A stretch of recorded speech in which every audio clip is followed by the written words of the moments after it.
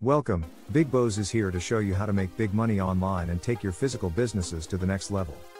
Today, I'll share with you 10 ways to make money on Facebook. Create and sell your own products. You can use Facebook to create and sell your own products, such as handmade crafts, jewelry, or clothing. Affiliate marketing. This is where you promote other people's products and earn a commission for each sale. You can promote these products through your Facebook page or group. Sponsored posts.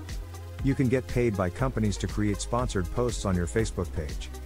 These posts typically promote a product or service. Facebook ads. You can use Facebook ads to promote your own products or services.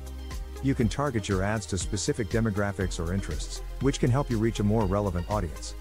Sell digital products. If you create digital products, such as ebooks, online courses, or software, you can sell them on Facebook. Offer consulting or coaching services. If you have expertise in a particular area, such as business, marketing, or health, you can offer consulting or coaching services through your Facebook page. Sell your artwork or photography. If you're an artist or photographer, you can sell your work through Facebook. Create and sell your own app. If you have programming skills, you can create and sell your own app through Facebook. Sell physical products through a Facebook store.